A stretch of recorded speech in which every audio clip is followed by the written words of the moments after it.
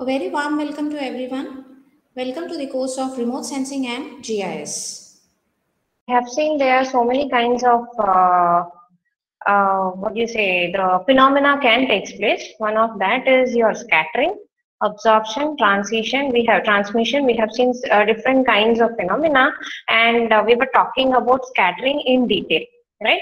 And I have given an introduction of scattering, where exactly uh, there are uh, different types of scattering possible depending upon the size of the particle and the size of the wavelength which is coming into interaction. If your size of the particle is very, very small when compared to the wavelength, then a Rayleigh scattering will be possible. And in this kind of Rayleigh scattering, you will be seeing the shorter wavelengths get affected, which means that they get scattered more. The rest of the wavelength just move on. They get transmitted. Okay. Next, we have seen if the particle size and the wavelength which is coming in contact, if both of them are equal, a scattering is possible okay and if the wavelength is higher or uh, sorry if the particle size is little higher than the wavelength which is coming in contact then the type of uh, scattering coming into picture is your geometric or non-selective scattering in this kind of scattering you will be seeing all the wavelengths will be reflected uh, sorry will be getting interacted scattered in all the direction equally Okay, but what happens in the Mie scattering? The largest wavelengths or the longest wavelengths get affected or they get scattered very easily. The best example for Rayleigh scattering is why blue is uh, or why the sky is looking blue. Okay, or uh, for the Mie scattering to understand in Kingi why the uh, what do you say the sunrise or sunset is orange or red in color. Okay? And uh, you can see uh, for the geometric scattering if someone asks you an example you can say why fog looks white in color. Okay? Why white in color? Because the red blue green all of them get scattered equally in all the directions which means our eyes are sensing all the three colors together. So when these three colors together they got mixed you can see a white color coming into picture. Okay? So that's what is the understanding we had about the scattering part. Okay? So let's move on to the other part of discussion. So when my solar energy is just traveling like this first uh, scattering is happening. I, I will not say first scattering is happening scattering happens absorption takes place and the further the uh, wave or the radiation just moves on to the earth surface right so that's the reason scattering we have discussed the next topic to understand is absorption so why absorption happens? Because in the atmosphere, if you see, there are so many kinds of molecules are present, some kinds of uh, dust is present, gases are present. So all of them absorb some kind of energy. Okay, so that's the reason absorption is also very important. When absorption has finished, scattering has finished, later only it reaches to the earth surface and then the interaction with the target happens there.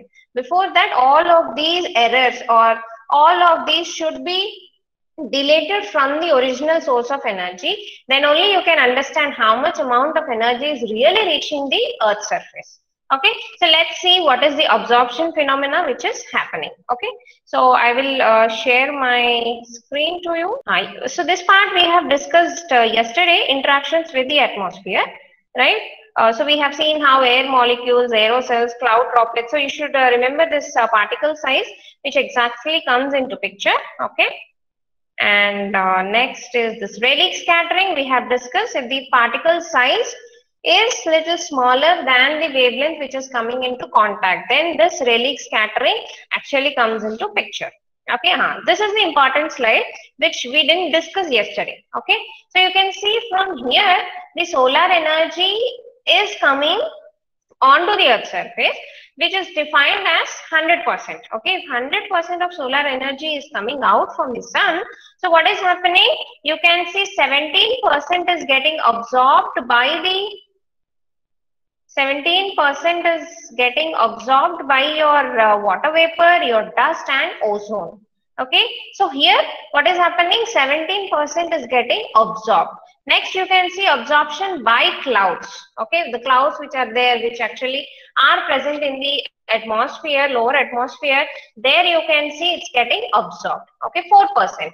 So 17 and 4 has been vanished and directly sunlight falls onto the object which is exactly absorbed by 47%. The other day also we were discussing how much can be absorbed. It depends upon the type of the body which is sitting there. Okay. For example, let's imagine a kind of, uh, what do you say, uh, a black body is sitting. What will happen? Absorption rate will be more and reflection rate will be little smaller, right? So depending upon the type of the body sitting there, this absorption value actually varies. Okay. And you can see uh, some part is absorbed by the water body which is sitting here.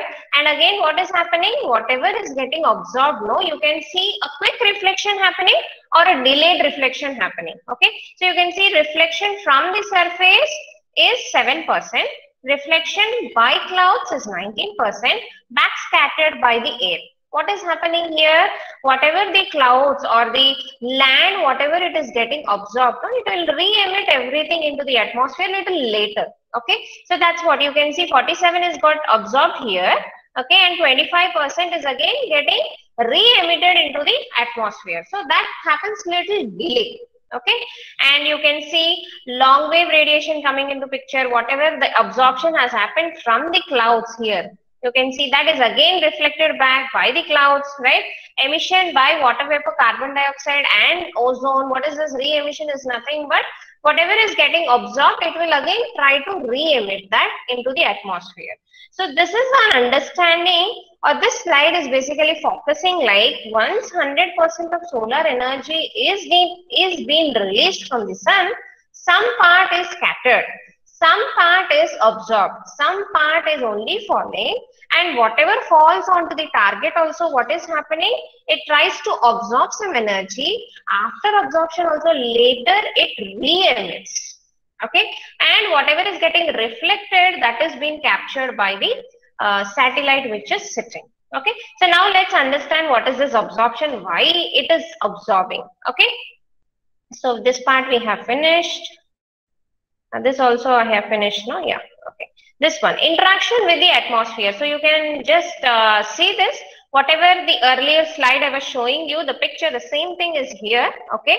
Here if you can see 17% absorbed by water vapor dust and ozone so what is exactly absorbing the energy ozone is absorbing the energy right uh, water vapor is absorbing the energy and dust particles are also absorbing the energy. So let's see in detail what is this absorption. Okay, absorption is the other main mechanism at work where electro when electromagnetic radiation interacts with the atmosphere. Earlier we have seen scattering happening. Now we are seeing absorption. In contrast to the scattering, this phenomena causes molecules in the atmosphere to absorb the energy at various wavelengths. Earlier in scattering, what happening? What is happening? When it's coming and hitting or scattering is happening, what is you can see? You can see a kind of reflection happening like this, right? It's getting scattered, fallen away from your target point. But what is happening in absorption? When it is coming in contact, the particle is coming in contact with the solar radiation, what is happening? Certain wavelengths it's trying to absorb. Okay. Ozone, carbon dioxide and water vapor are the three main atmospheric constituents which absorb radiation. So as discussed, ozone is one thing, water vapor is one, one uh, kind of uh, particles which exactly absorb the radiation and the third one is carbon dioxide. All of you know about this ozone because ozone is a thick layer which is sitting in the kind of we have seen in the stratosphere where exactly it restricts the UV light to fall onto the earth surface right? How is it doing that? It's absorbing the uv radiation and converting itself the oxygen into o3 it's making a kind of bonding. It's it's getting stable absorbing the uv radiation so how we have understood the ozone formation in the same way or ozone is not letting the UV radiation to fall onto the atmosphere, uh, onto the earth surface. In the similar way, your carbon dioxide, your water vapor, which is present in the atmosphere, absorbs certain other wavelengths. Okay, like ozone absorbs UV radiation, carbon dioxide absorbs other wavelengths, and water vapor absorbs in the other wavelengths. Let's see what are those wavelengths. Okay, that's the base concept actually. So you can see ozone serves to absorb the harmful to most living things, which is nothing but your ultraviolet radiation from the sun. So when sun is just focusing its energy, what ozone does, which is present in the stratosphere, it just absorbs all the UV radiation. It will not allow the UV radiation to fall onto the earth's surface. Okay. Uh, so without this protective layer in the atmosphere, our skin would burn when exposed to the sunlight. So we all know that UV radiation is dangerous to human eyes and even the human skin also right? So one material or one particle which is absorbing UV radiation is your ozone, right? The next thing is carbon dioxide. So we all of us know what is carbon dioxide and we specifically talk about carbon dioxide, we simply say it's a greenhouse gas. Okay. So this is because it tends to absorb radiation strongly in the far infrared portion of the spectrum. So in which area is your carbon dioxide more dominantly concentrating is when the solar energy is falling onto that ozone absorbs UV radiation. If carbon dioxide is present in the atmosphere, just above the earth surface till the place okay? What is doing what it is doing co2 absorbs your far infrared. Remember far infrared where did i say far infrared? Far infrared is the place in the thermal uh, infrared. So remember infrared region i have divided into two parts what is one is reflected and the other one was thermal. Inside thermal also we have far infrared we have middle infrared. So so many categories we have made. The last portion of the infrared whatever is there no in that portion your carbon dioxide absorbs that radiation.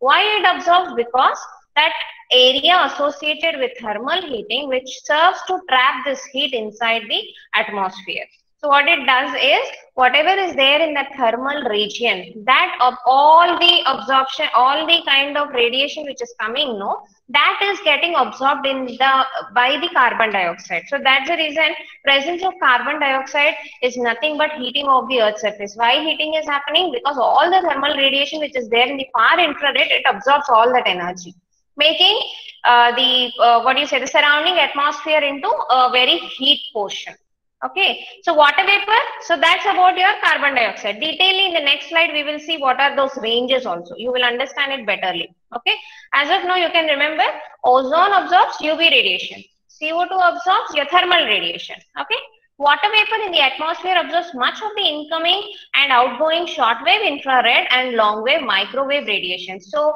you can see water vapor is concentrated in two parts one small part in infrared and the other part of your microwave. Microwave, remember we have talked, right? So uh, what's the uh, wavelength range if you see 22 micrometer is the shortwave infrared because 0.7 to 1000 we talk about infrared. In between one wavelength where exactly water vapor is getting absorbed is your 22 micrometer.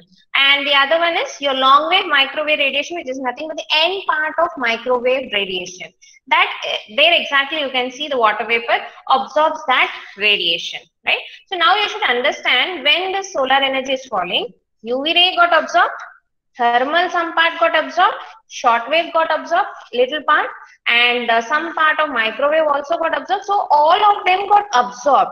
So out of this 100% if you remove all these percentages which got absorbed the remaining only just passes through a window to the earth surface. All of them when they get absorbed scattered all these things when all these phenomena are completed then only we can see our earth surface getting the what you say the solar energy. It's not the 100% solar energy reaches in between some kinds of phenomena are happening okay so let's see in detail about them uh, so the presence of water vapor, okay, in the previous slide, you can see uh, the 7% here, whatever we are talking, no, this one is nothing but your uh, 22 long wave radiation is written. No, it's nothing but your 22 micrometer and your 1 meter. Okay. Uh, so in the next slide, if you can see, this is the kind of uh, thing which happens emission by water vapor, carbon dioxide and ozone. Okay. So the presence of water vapor in the lower atmosphere varies gently from location to location because the presence of water vapor varies from place to place right? The humidity if you see if you see in the southern regions uh, chennai which are very near to the coastal areas no there you feel very humid. But when you just move on to the western part or in on, on towards the northern part if you see what happens it's not very humid right? Within, uh, what do you say, within the southern part itself, when you move to Telangana or these parts, no, you will not feel that humidity. But when you move on to the Andhra Pradesh coastal areas or Chennai, uh, Tamil Nadu, these coastal areas, you feel that humidity. So water vapor content varies from place to place. Okay, so presence of water vapor varies. So if water vapor is present, it absorbs this radiation. If it's not present, obviously there is no absorption taking place. That you should understand. Okay, so for example, the air mass above a desert would have very little water to absorb the energy, while the tropics, which have high concentrations of water vapor, that is high humidity. Just now I said, I give you an example. If you see in Telangana, we feel less humid. In such cases, the absorption rate by water vapor is very less. But when you move on to the coastal areas where you feel very humid, in such regions, what happens is you observe more amount of uh, what do you say uh, the radiation of microwave or the shortwave infrared okay? So more absorption happens. Because these gases absorb the electromagnetic energy in a very specific regions of spectrum they influence where we can look for remote sensing purposes. So now i remove all this. Ultraviolet i have removed I have removed far infrared, I have removed shortwave infrared, I have removed uh, what you say, uh, the microwave, I removed these small parts I have removed. Okay, scattering also I have just uh, deleted it. So the rest of the part, whatever has left, is exactly useful for remote sensing purpose. Okay, so that's the understanding. So when I remove everything which is getting absorbed, scattered, then only whatever is getting remain, that's what is exactly useful for your remote sensing purpose. Okay, so let's move. A clear picture will be there to, uh, showing you the wavelengths also. So this is the picture exactly. Uh, you can see here uh, on the x-axis, it's nothing but the wavelength. Okay. On y-axis, it's the fraction of radiation blocked. What is meant by block? It's nothing but where exactly your uh, what completely uh, absorption has happened. Okay. So you can see what is this first one? Your X-ray and UV ray completely opaque, which is nothing but ozone and molecular oxygen. So if you see the UV region or the X-ray region, that part, more of the UV region, what happens there? Due to the presence of ozone, everything got absorbed. Right? So can you tap any kind of remote sensing purpose or remote sensing application there? No, I cannot do anything because already it is not there in the energy which is reaching on to the earth surface. Right? So next move on to the visible window. Yes, visible window entirely I, I don't say entirely because scattering is getting involved by blue wavelength and your red wavelength, right? So some part is exact, exactly got scattered. The remaining part, whatever is available, is available for the interaction with the target. Next, again, if you can see infrared windows, infrared windows where infrared radi radiation will, will be absorbed, presence of carbon dioxide. Carbon dioxide absorbs your far thermal infrared, right? And your water vapor absorbs your shortwave infrared and your, what do you say, microwave region. So these are the small portions where exactly absorption has taken place, right? So whatever the blue peaks you're able to see here, these are nothing but where absorption has taken place. The empty part, whatever we are able to see, you know, that's available for your remote sensing purpose. That's what you should understand. Okay, so empty parts are the exact wavelengths which are exactly available for your remote sensing purposes. So those are exactly called as atmospheric windows. What are atmospheric windows? Atmospheric windows are nothing but the windows where exactly no absorption, no scattering has been taken place and that energy is freely available for tapping a remote sensing application. That's what is called as remote, uh, sorry, atmospheric window. Okay, and you can see later to your microwave region, everything is completely transport. It's a big window where you can work on it, right? So the radio waves or the uh, shortwave uh, micro microwave, these are all actually uh, available for tapping the energy, right? So let's detailing see wavelength part. So I will zoom this uh, slide. So you can see here. So what is this exactly talking is nothing but it is showing you in which wavelengths the absorption has taken place and it's in which wavelength are the uh, atmospheric window is present. Okay, so now if you can see, we have started with the lesser wavelength. Okay, your gamma rays are there, X rays, your UV rays, next visible part, infrared, microwave and radio wave. So increasing wavelength we are trying to see. Okay, so now coming obviously UV, UV radiation is being taken place which is getting absorbed, right? So now if you see the visible part, you have violet, blue, green, yellow, orange and red, right? starting with a 0.4 micrometer to 0.7 micrometer. Out of all this range, there are some atmospheric windows. What is this atmospheric windows? Which is nothing but you can see only these part are the places where exactly uh, your uh, what you say uh, remote sensing can be applied or rather you can see here first if you understand this maximum absorption then uh, uh, if I minus the original one from this maximum absorption, I will get this atmospheric windows. Okay, so let's see this uh, maximum absorption. You can see this infrared classification I was saying you near infrared, short wave infrared, middle wave infrared, thermal infrared, far infrared. Okay, so now let's see infrared classification is this classification. So you can understand this near infrared and shortwave infrared comes under the reflective part and from middle and wave infrared till this far wave infrared, it's called as the thermal one. Okay, so we have seen the categorization. The same thing near infrared, shortwave infrared, middle wave, thermal infrared and far infrared. So that's the uh, classification. Now, just now we have seen presence of ozone, presence of water vapor, presence of carbon dioxide actually absorbs your infrared and microwave wavelengths. So here it's clearly shown at what wavelengths are the absorption happening. Okay, so you can see at 0.93 micrometer, you can see the water vapor gets absorbed. Where is 0.93 micrometer coming into picture? It's exactly in your near infrared right? Next again it's uh, 1.13 micrometer which is again a kind of uh, near infrared. Next 1.4 which is your short wave infrared. 1.87 which is again a short wave infrared right?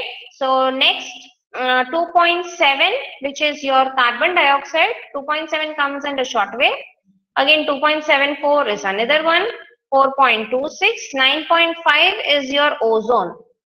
Okay? And uh, 14 to 1000 carbon dioxide and water vapor. So if you minus all these absorption values whatever is present or whatever is left over is your atmospheric windows okay so now we come and concentrate in this atmospheric window so this is the possible windows to us what is that possible windows 2 to 2.5 where is this 2 to 2.5 it is under reflected part right so you can see it comes somewhere here, shortwave infrared. Next, 3.2 to 4.2. Again, middle wave infrared. 4.5 to 5.2. 8 to 9, 10 to 13, right? So these are your atmospheric windows which are exactly possible okay? So what is an atmospheric window? Let's define what is an atmospheric window. Parts of the spectrum which are not severely influenced by atmospheric absorption are useful for remote sensors are your atmospheric window. What are atmospheric window? After absorption has taken place scattering has taken place whatever is the remaining part which is really available for the remote sensing that is exactly called as an atmospheric window okay? So you can see the part the kind of uh, picture which is shown here. Uh, the left hand side the first picture if you see on uh, x-axis you have all the wavelengths which are present and on y-axis we have the transmission rate. So you can see what is happening. So transmission rate wherever you are not able to see some peaks coming and blanks seen no that is nothing but uh, the kind of 100% uh, transmission has happened there. Okay? What is happening here this part is nothing but absorption has taken place.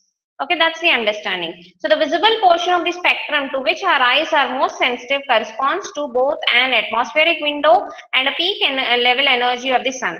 What happens is when the visible light is just falling down scattering happens okay a disturbance is created but after few few uh, minutes or uh, after few uh, time, uh, after some time, what happens is that energy again uh, reaches back to the atmosphere, uh, reaches back to the Earth surface. So that's the reason it's also available.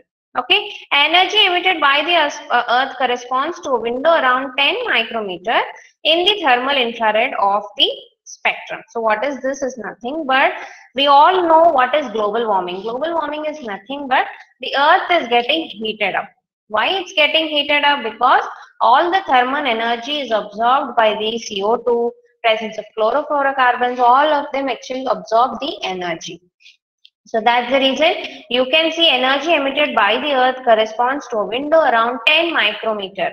So it's nothing but the thermal infrared portion of the spectrum. Okay. So whatever is re-emitted also is captured in that region. Okay. So the large window at wavelengths beyond 1 mm is associated in the uh, microwave. So beyond 1 mm also whatever is present is your microwave region which is uh, I said you that technology is still uh, moving on okay now you can see uh, a small uh, kind of uh, picture showing you or the table which exactly shows you where the atmospheric windows are present. Because ultimately 100% of solar energy is coming also. I'm not interested there. Where am i interested? After absorption has taken place after scattering uh, has been possible has been finished after that whatever is remaining is your atmospheric window. And i am interested in that window only right? So you can see what is that window? Upper ultraviolet visible and photographic infrared which is approximately 0.3 to 1 micrometer okay? And next reflected infrared 1.3 1.6 and 2.2 next thermal infrared 3 to 5 8 to 14 the rest everything are being absorbed by the particles okay? So this table if you just refer no you will understand very easily. Oh i'm not able to see this last one so great microwave greater than 5000 atmosphere is mostly transparent which is nothing but everything just comes uh, onto the earth surface. So simply like our window. So what our window? If you just open the window what will happen? Through the uh, uh, if you remove the portion of the grills whatever is there in uh, within that with, uh, within the space of that grill no whatever is there within that space the air will just blow on. If you just pass the air from the other part what happens leaving the portion of the grill the other part just reaches on to the other side in the same way if you just put the solar energy there these obstructions which are uh, given by the grill here the obstructions are nothing but presence of ozone, presence of uh, water vapor, presence of carbon dioxide, presence of dust, all of them obstruct some radiation. The rest of the radiation it will pass on.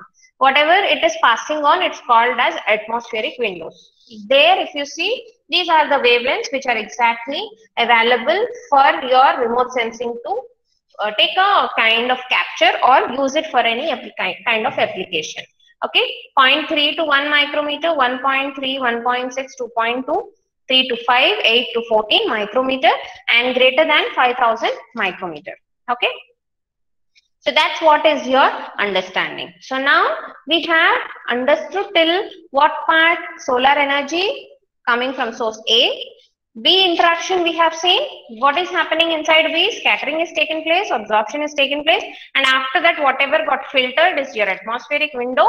It's just falling on to my target now what is sitting at the ground surface is really important to me. Is it a tree which is sitting or is it a soil which is sitting or it's really a building which is sitting? How this radiation is getting and interacted so that is very important. So now let's see what is the target interaction. Okay target and radiation interaction. Solar radiation which is nothing but coming through the atmospheric window getting interacted with the target. So that's our uh, interest now so now let's move on to the next slide and see what is the radiation and target interaction.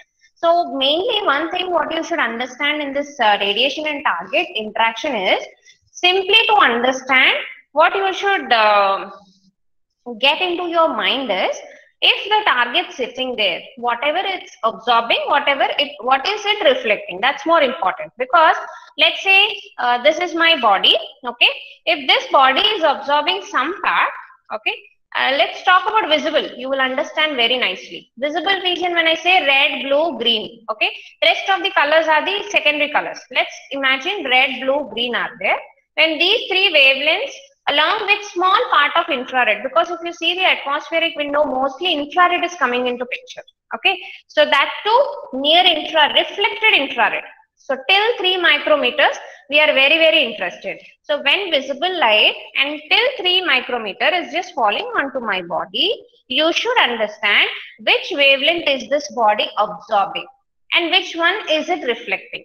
Because whatever is getting reflected is captured by my satellite right? If let's say it's absorbing red color, blue color, and it's reflecting, uh, what do you say, red, blue or green color and infrared, what is my satellite capturing? It's capturing green and infrared. So we should understand here what exactly your body is absorbing, what it is reflecting. So that's very, very important to us. So now in the coming slides, you should understand which is the body sitting here, which wavelength it absorbs, which wavelength is reflected. Okay, that's very important to us. Okay, so now you can see here. Now comes your spectral response. What is meant by spectral response? Remember, somewhere in between I said spectral, spatial. Spatial is something which is uh, talking about a resolution. Spectral is something which is talking about a wavelength. Okay, spectral response is nothing but when the wavelength is falling. When I say wavelength, any kind of wavelength any kind of energy which is just falling onto the body, what is the response? Spectral response. So spectral response, when I say which wavelength is getting absorbed, which wavelength is getting reflected, the response is called as spectral response. So now we are going to study about spectral response of different bodies. Okay. So now spectral response depends upon the target. So incident radiation, when it is just falling, what happens? It gets reflected, it gets absorbed, it gets transmitted, right? So for example, you can see there's a tree sitting here. I'm first showing you an example of a tree, okay? So what is happening? A tree is there. Now solar radiation has just come from a source, sun, okay? After some scattering has happened, after some kind of absorption has taken place, some radiation is coming.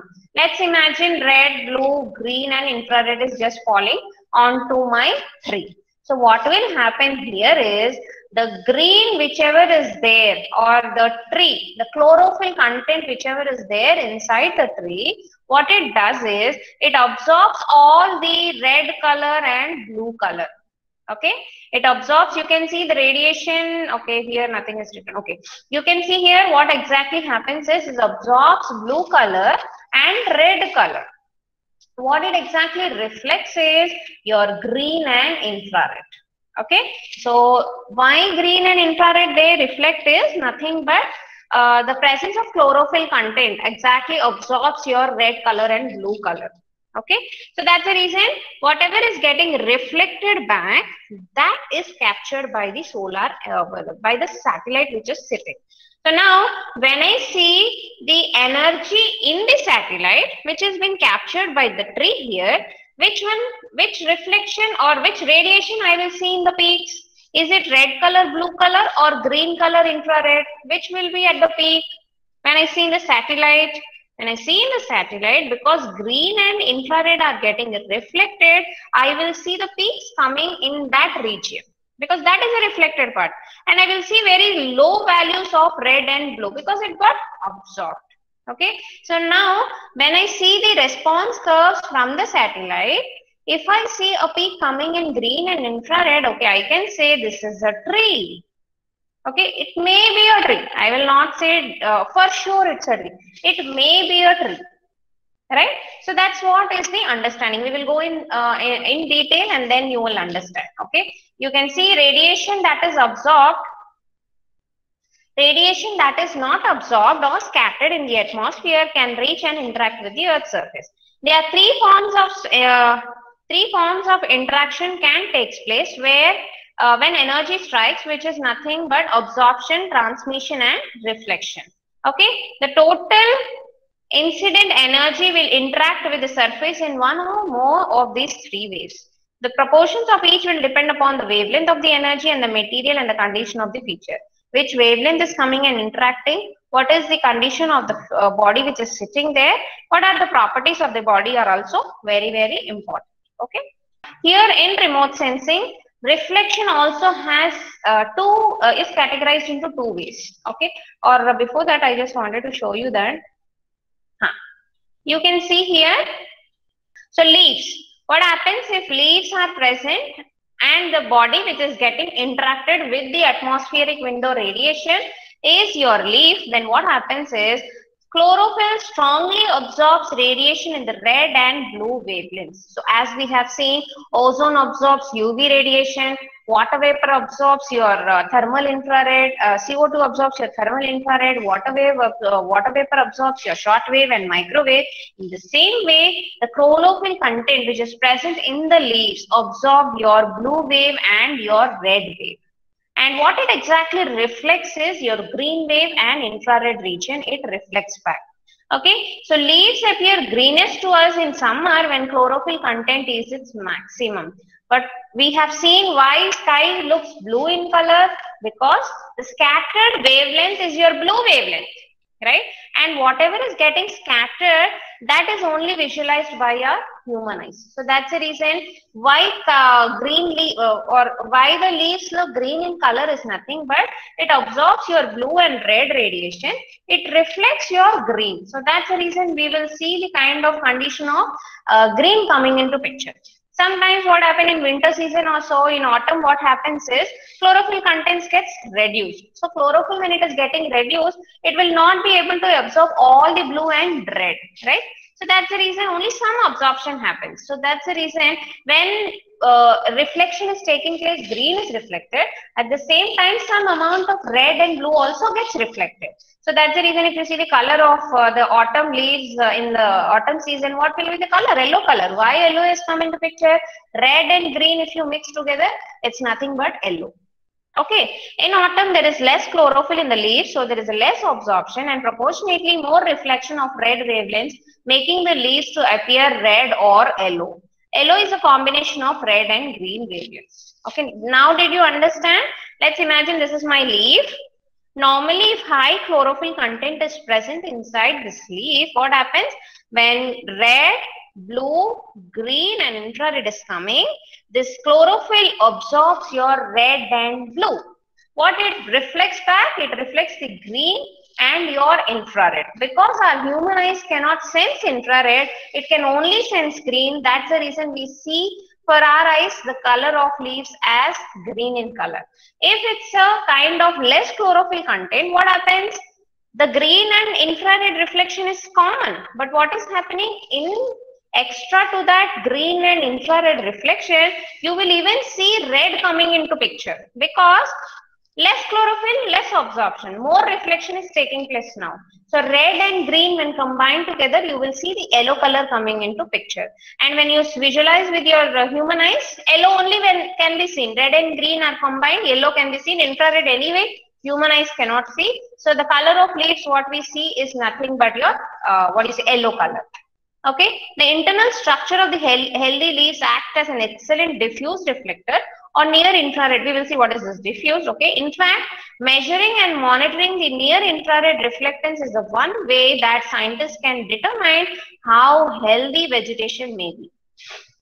Okay, so now what is it saying is there is one kind of factor which is there with the remote sensing technology is called as NDVI okay it's nothing but it talks about a vegetation index vegetation index based upon uh, if a satellite is there and it has the reflection in each of the bands okay by calculating their ratio we can say which plant is healthy.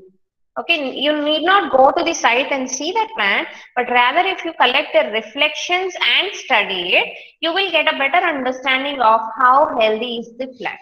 Okay by studying the reflection pattern okay? More reflection is coming into picture from red and uh, what is it red green and infrared then obviously you can say it's less healthy. Okay? If more only reflection is coming through green and infrared portions only then you can say it's a healthy healthy plant. Okay? This part we will talk again in the application digital image processing. When i move on to the second unit you will understand better. But as of now today the object which we have studied is your leaves Okay, chlorophyll content. Now let's move on to the earlier slide, which is nothing but there are two types of reflection because now absorption is taking place, green and infrared are reflected. How this reflection is happening in remote sensing? We are interested in measuring the radiation reflected from the target. So since the solar energy has released, in between we have studied so much but we are not interested in uh, what what to say i don't say that we are not interested but we are not uh, the remote sensing is not bothered about your absorption your scattering uh, all these things. What is interested is how much is getting reflected what is getting reflected. All these things after they have finished whatever the object is absorbing whatever it is reflecting that reflecting part our remote sensing satellite which is sitting is interested. Okay? So two types of reflection can be possible. One is called as diffuse the other one is called as specular. So what is the, the picture you can see here? What is specular? What is diffuse? You can see specular is something if the radiation is falling like this it just gives a kind of um, mirror kind of thing which it reflects in the opposite direction but when you see the diffuse reflection, it reflects equally in all the directions. So that's what. Okay. One is in the incident direction to the mirror, it just gives a mirror kind of thing. Okay. Reflection. It's nothing but a specular reflection. And the other one is a diffuse, which exactly uh, reflects equally in all the directions. Okay. When a surface is smooth, we get specular. What is specular? Incident and reflected. Smooth surfaces generally show this kind of reflection where all or almost all of the energy is directed away from the surface in a single direction. Diffuse reflection occurs when the surface is rough and the energy is reflected almost uniformly in all directions. Most Earth surface features lie somewhere between perfectly specular or perfectly diffuse reflectors. Whether a particular, particular target reflects specularly or diffuse or somewhere in between depends upon the surface roughness of the feature in comparison to the wavelength of the incoming radiation. So we understand that no object is perfectly specular. It doesn't give a mirror-like thing or no object is perfectly diffuse also. It cannot uh, reflect everything equally right? So it depends upon the object it is getting in contact what how rough is the surface what wavelength is really coming into picture all of them actually control it okay? So that's about this. So if the wavelengths are much smaller than the surface variations or the particle sizes that make up surface uh, make up the surface diffuse reflection will be dominant for example fine grained sand would appear fairly smooth to long wavelength microwaves but would appear quite rough to the visible wavelength. So it depends upon so now what is he saying is if wavelengths which are coming in contact with the body or with the surface variations, the surface, just now I said roughness of the surface. If the surface is, let's say, uh, cement concrete road is there, how smooth it will be, right? So if the wavelength which is coming in contact and your surface vibration, uh, uh, surface uh, roughness is very smooth, what will happen? A diffuse reflection will come. Let's imagine your, uh, what do you say, visible light or your, uh, uh, what do you say, your infrared is coming into picture and the surface is very smooth. What will happen? The wavelength is higher and your surface is smoother. What will happen? You will see a specular reflection coming into picture. Okay, so you can see the same body, which is nothing but a fine grained sand, will show very smooth reflection in long wave microwave and it shows a very rough one in visible wavelength. Why? What is happening? Because visible wavelength is very, very small wavelength, right? And fine grained sand is also a kind of uh, very small. So now your, uh, sorry, microwave, huh. so the fine grained particles are smooth and your microwave is little higher wavelength, right? So what happens is it comes into a smooth kind of reflection. But what is happening here? The wavelength is small and even the particle is also small. So now that what happens is it reflects into a kind of diffuse reflection. Okay, it reflects in the similar pattern. So same body is showing two patterns of reflection. One where the size is little higher and one where the size is little lower right? So each body, what is that body? In which wavelength are we studying? The reflection pattern actually varies, right? The spectral response, whatever we will study, in which wavelength are we studying is really important, okay? So So for today, I will stop. I think leaves we have finished. Next, we will see water. Uh, one by one, we will study uh, the kind of interaction, target interactions. Okay. So we will stop our discussion here. We'll see you again in the next lecture. Thank you for your attention.